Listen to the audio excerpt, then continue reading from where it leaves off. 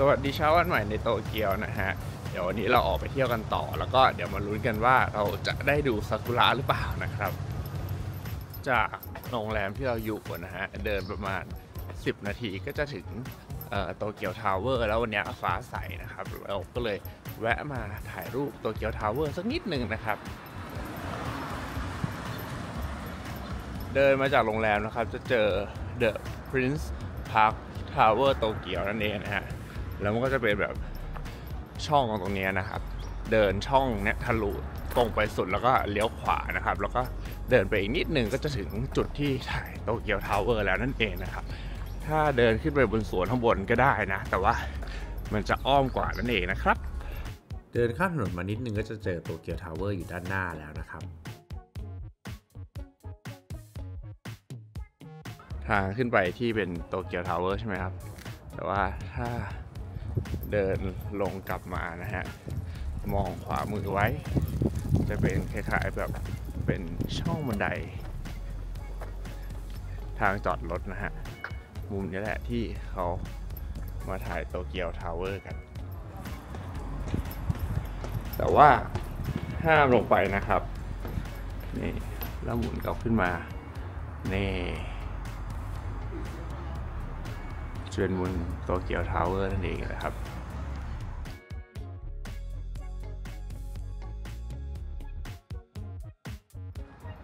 ลงมาจากตรงโตเกียวทาวเวอร์นะครับ ตรงเนี้ยก็แบบเหมือนเป็นแบบมุมที่น่ามาถ่ายซากุระเหมือนกันนะ ถ้ามันบานนั่นเองนะฮะ เดี๋ยวเราเดินไปเรื่อยๆนะครับ แล้วก็อ้อมทางด้านซ้ายมันจะกลับไปตรงสวนที่เราไม่ได้เดินมาเมื่อสักครู่นะครับ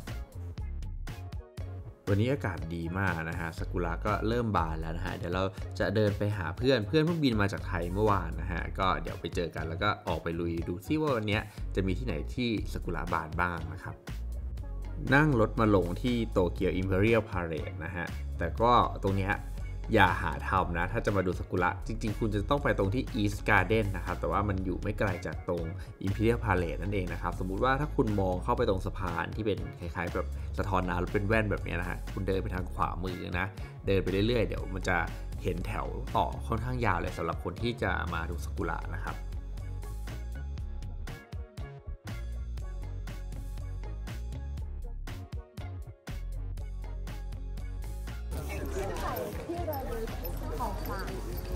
เข้ามาด้านในนะฮะ ก่อนเข้ามาก็จะมีตัวกระเป๋าเล็กน้อยเป็นพิธีนะครับ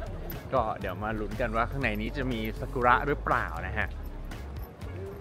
อันนี้มีเพื่อนร่วมทีมแล้วอันยอง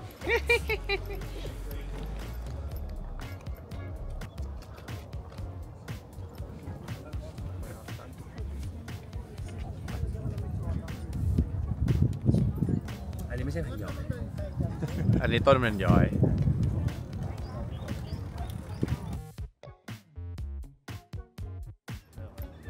ตอนนี้นะฮะ มาที่สวนก็มี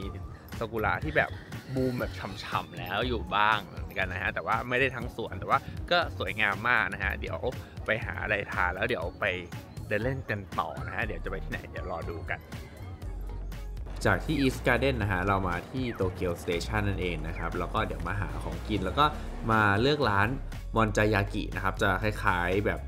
โอโคโนมิยากิแต่แบบมันจะนิ่มๆเหลวๆนิดนึงนะครับ แต่ว่าก็อร่อยดีนะครับ แล้วก็หลังจากนี้เดี๋ยวเราจะนั่งออกไปข้างนอกประมาณ 1 ชั่วโมงนะครับ เป็นสวนที่ มีซากุระแล้วนะครับ จากที่ลองดูในกลุ่ม Facebook นะฮะเขาโพสต์กันว่าเออที่เนี่ยเริ่มบานแล้วเดี๋ยวไปลุ้นกันว่าจะเป็นยังไงนะครับ ตอนนี้เราอยู่กันที่ไซตามะนะครับ ก็นั่งรถจากสถานีโตเกียวนะครับ มาลงที่โอมิยะ station นะครับ แล้วก็ต่อแท็กซี่มาที่โอมิยะ park นะครับ ใช้เวลาประมาณชั่วโมงนิดๆ ไม่ไกลมากนะครับ ก็เป็นสวนที่ซากุระเนี่ยบานแล้วบานเยอะด้วย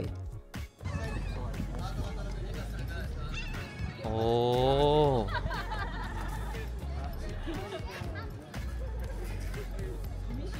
สวยงาม สวยงาม อันนี้ก็เป็นบรรยากาศแบบมาดูสกุระแล้วคนก็มาแบบปิกนิกกันที่แบบว่าเราอยากเห็นเราอยากเจอนะแบบว่ามีร้านมาขายของมาแบบทำกิจกรรมอะไปเลย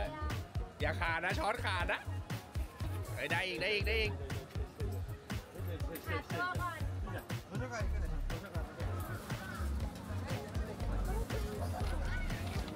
นี่เราก็ไปหาเสือมานะครับ แต่ว่าก็ได้ประมาณนี้แหละเสือสีฟ้าเนี่ยแหละแล้วก็เอาขนมที่เราซื้อมาจากสถานีรถไฟ แล้วก็ภายในสวนเนี่ยเอามานั่งกินกันนะแบบชิลกับบรรยากาศที่แบบว่าเขามาดูซากุระกันนะครับทำตัวเหมือนแบบคนญี่ปุ่นนั่นเองนะฮะ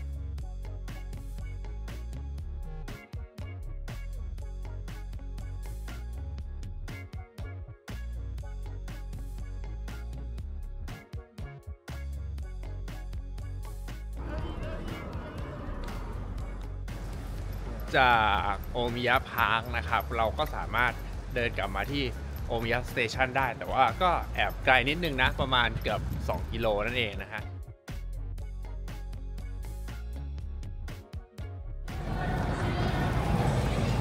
จากโอมิยะ park นะครับ ตอนนี้เรานั่งกลับมาแล้ว ตอนนี้มาลงที่สถานีชิบุย่านั่นเองนะครับ เดี๋ยวเราจะไปเดินเล่นกันต่อ ด้านหลังก็คือสถานีชิบุย่านะครับ แล้วก็เดินอ้อมมานะครับ เดี๋ยวต่อไปนะฮะจะเป็นจุดที่จะไปชมซากุระมันจะเป็นแบบเป็นตอกเล็กๆกันนะฮะแล้วเขาก็จะเป็นแบบต้นซากุระแบบอยู่ซ้ายขวาก็จะมีโคมประดับไฟสวยงามนะครับ ซึ่งตอนกลางคืนเนี่ยก็จะไลท์อัพด้วยนะครับ แล้วก็สามารถลงไปถ่ายได้แต่ว่าผมเห็นว่าวันนี้คนค่อนข้างเยอะนะ ก็เลยขี้เกียจลงไปถ่ายจากบนสะพานลอยนั่นเอง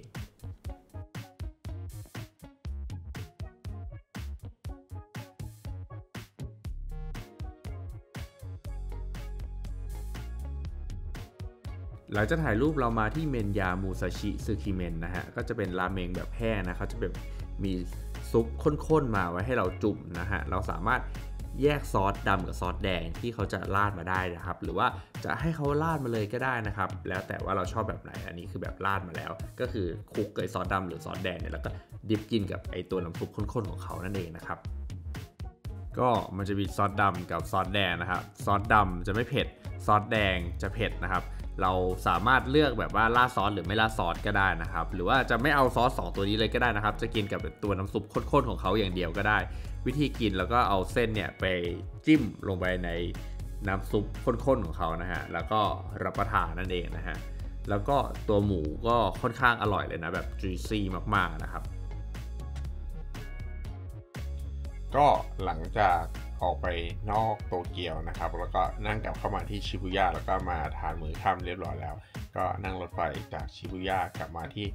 ฮามามัสึโชนะครับ ก็คือมาที่โรงแรมที่เราพักนั่นเองนะครับ ก็เดี๋ยวนี้ขออนุญาตไปนอนก่อนแล้วกัน เดี๋ยวพรุ่งนี้ลุยแต่เช้าเนี่ยนะครับ เดี๋ยวลุยต่อ